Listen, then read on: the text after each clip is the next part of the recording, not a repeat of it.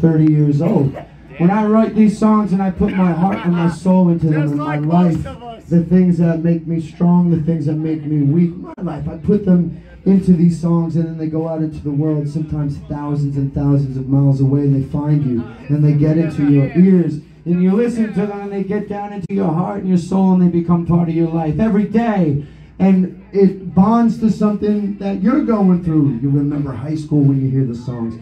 Somebody that you love comes to mind, somebody that you miss. Maybe it just gives you the strength to get on for 10 more minutes or just through a night. Yeah. When that happens, ladies and gentlemen, when that happens, that's when the miracle happens. When, when that happens, you and I, we make a very cosmic bond. It transcends this whole physical experience that we're having for a very short time. And I recognize that I feel you and I love you and I thank you very much.